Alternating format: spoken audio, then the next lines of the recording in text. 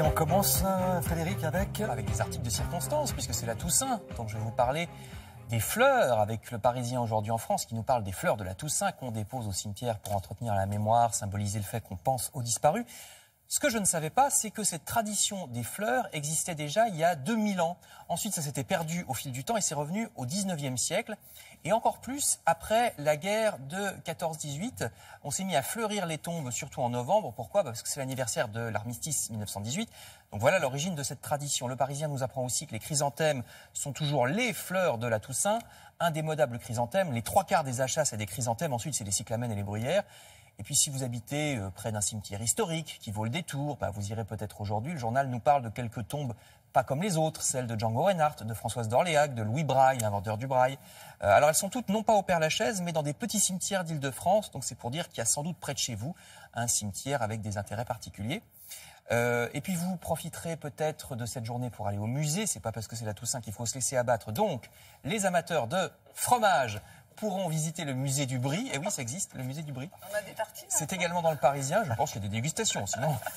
Euh, c'est dans la ville de Meaux, en Seine-et-Marne. Il y a depuis un an la maison du Brie de Meaux. Normalement, c'est ouvert aujourd'hui. J'ai regardé leur site.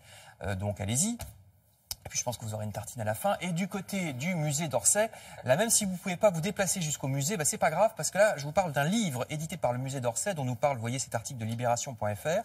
Alors le livre s'appelle Pourquoi c'est connu pourquoi et comment un tableau épate la galerie? Euh, C'est un livre très bien fait pour ceux, c'est-à-dire la plupart d'entre nous qui aimons bien la peinture mais qui ne sommes pas des spécialistes, euh, parce que ça, apprend, ça reprend les chefs-d'œuvre les plus connus du musée d'Orsay, ça explique euh, tout ce qu'il raconte, comment le tableau est né, voyez la couverture du livre ici, comment il a été perçu à l'époque, pourquoi donc il est célèbre. Alors parfois c'est parce que ça a fait scandale, évidemment c'est le cas de l'origine du monde de Courbet ici à gauche, mais aussi de la buveuse d'absinthe de Degas à droite, parce qu'à l'époque cette femme pauvre abrutie par l'alcool, bah, ça avait été très très mal reçu, ça ne se faisait pas.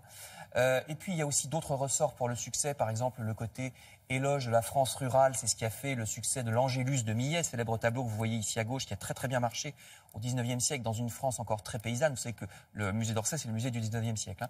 Ou bien à droite, l'originalité des couleurs et le côté zen, euh, très nouveau dans la chambre de Vincent Van Gogh. C'était très nouveau de représenter ainsi une chambre toute bête, sans personnage, mais magnifiée par les couleurs, très zen, très japonais avant l'heure. Euh, donc je vous conseille ce livre qui s'appelle Pourquoi c'est connu. C'est aux éditions du musée d'Orsay. Enfin, je termine par un avertissement si jamais vous allez sur Facebook aujourd'hui et que vous tombez sur un prétendu compte officiel du canard enchaîné. Bah, sachez que c'est un faux. Le canard enchaîné n'a pas de compte officiel Facebook. Je vous le signale parce que le canard a dû se plaindre au réseau social pour faire supprimer ses faux comptes, d'autant plus qu'il y a absolument n'importe quoi et des, horreurs sur ces comptes euh, soi-disant du canard enchaîné. Mais avec Facebook, c'est toujours la croix et la bannière pour les contacter quand il y a un problème. Et puis quand le canard arrive enfin, à force de formulaires, vous voyez, de contacter des gens qui sont pas là, qui répondent que c'est pas eux, que c'est aux États-Unis qu'il faut écrire, etc. en anglais. J'ai déjà essayé. Hein.